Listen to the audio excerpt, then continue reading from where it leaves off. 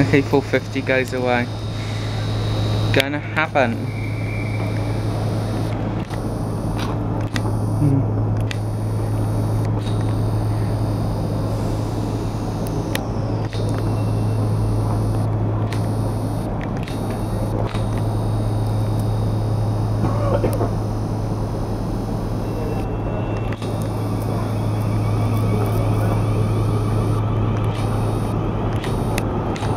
there.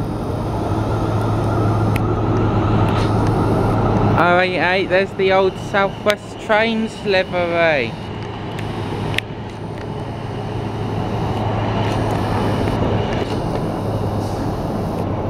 Eight eh. five.